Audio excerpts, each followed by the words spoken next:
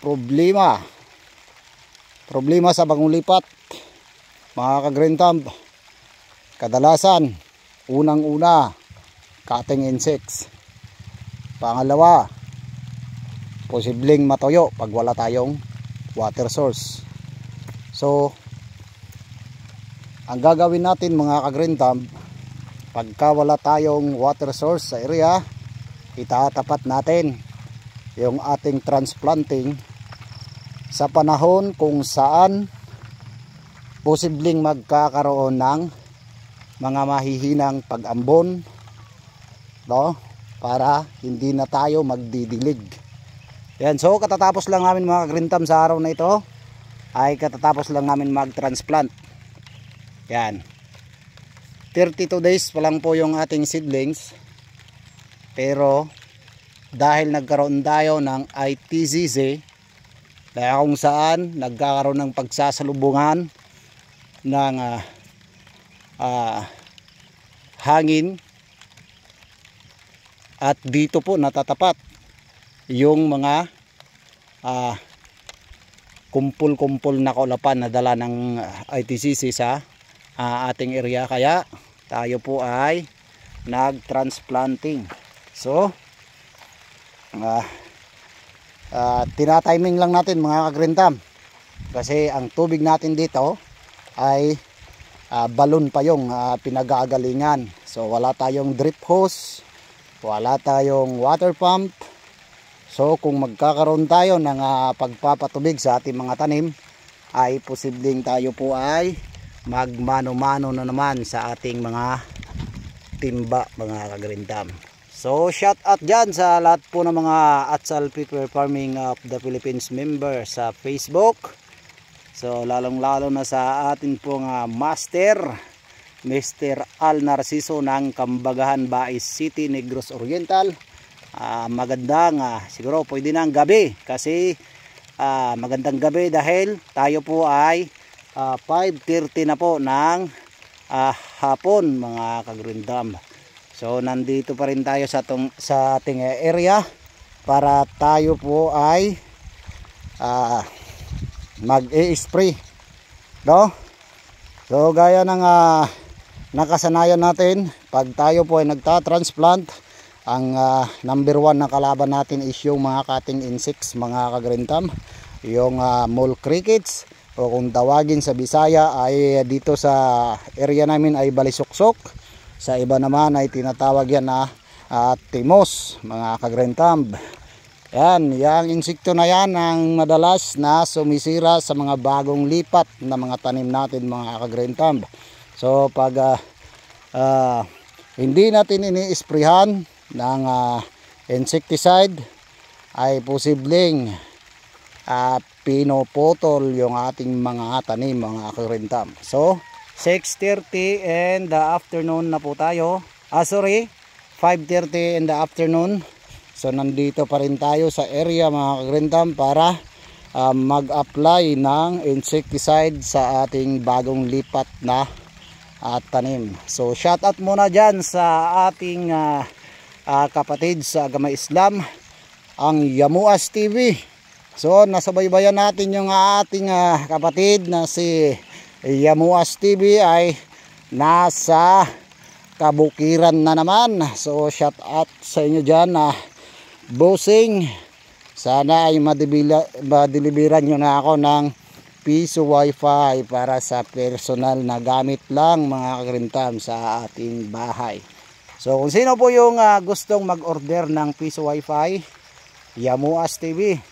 Search nyo lang po sa YouTube at meron din siyang official page. Kung kayo po ay gustong mag-order ng kanya pong mga bindo machine. So balik po tayo mga kagrintam ano, sa cutting insects na nabanggit ko po kanina. Ang balisoksok mga kagrintam siya po yung madalas na pumuputol sa mga puno ng ating mga pananim. Yan so may nakita na po ako dito kaninang pinutol mga kagrentam so pasensya na at medyo uh, makulimlim na mga kagrentam at uh, paggabi na. So ayan mga kagrentam butal na po. Yan. Ipapakita talaga natin ha? Yan. Yung dahon no, ginuyod pa doon sa bandang ilalim. Tapos yung puno, ayan, putol na mga grindam. No? Tinanim ko ito kahapon ng uh, hapon sa ganitong oras din. Yan, pinutol na nila mga grindam. Pero nag-spray ako bago ako uh, umalis.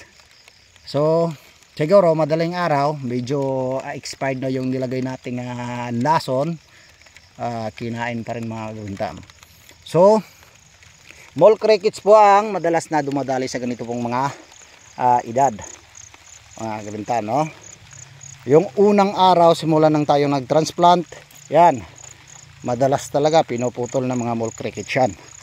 Kaya ang ginagawa natin no, i-share ko po sa inyo lagi tayo mag spray sa ganitong oras. 5pm to 6pm mag spray tayo. Bakit?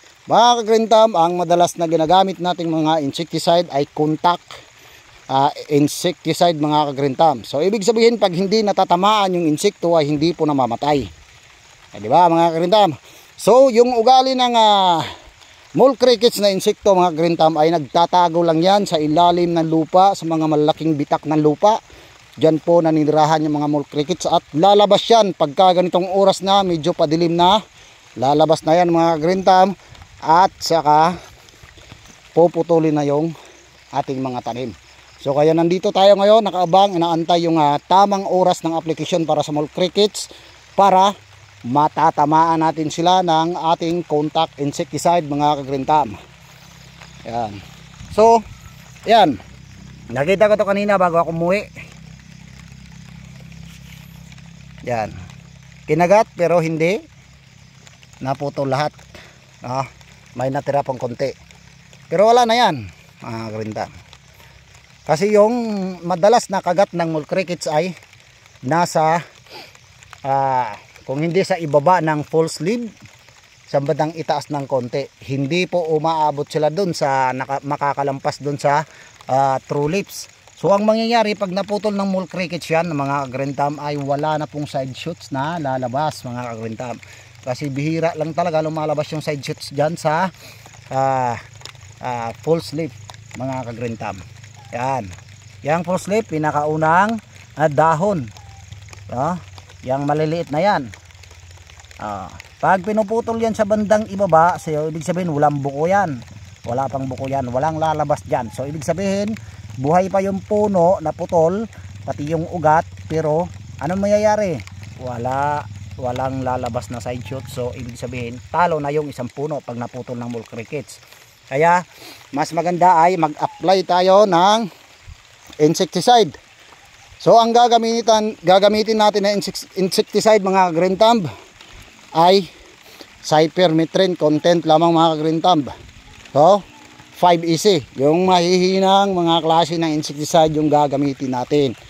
So, pero kung meron naman kayong alayka na gagamitin pwede pero low dosage muna mga green thumb. 10, uh, 10 ml muna mga ka-green thumb yung gagamitin ninyo na uh, dosage pagka mga yellow level na mga insecticide pero pagka mga green level mga green thumb pwede nating sundin yung dosage na nakalagay doon sa kanya pong label mga kagrintam. So ang gagamitin natin mga kagrintam ay bugbuster. Yan. Ito po yung uh, napili kong bilhin kasi doon sa bandang unahan, yung wala ng plastic marks doon, ay watermelon yan. Kaya maraming mga ladybugs na nakikita ko mga grindam. Kaya bumili ako ng bugbuster which is ang content nito ay cypermethrin mga grindam. So maganda yung epekto sa mga ladybugs na umaatake sa watermelon at saka pipino. So ayan na po yung ating bagong lipat tanim. So uh, standby muna tayo mga kagrintam ano? At tayo po ay mag-spray muna. Pumapatak ng uh, mahina yung ulan. Pero okay lang yan. Kasi yung gagamitin natin ay contact insecticide. Ang uh, sa atin lang ay matatamaan natin yung mga mole crickets mga kagrintam. So, ito lang muna mga grindam at ako po ay magmixing muna ng ating insecticide para po makapagsimula na tayo kasi uh, gagabihin na talaga tayo nito. So yun lang po muna mga karintam. Assalamualaikum po sa inyo lahat. Happy farming.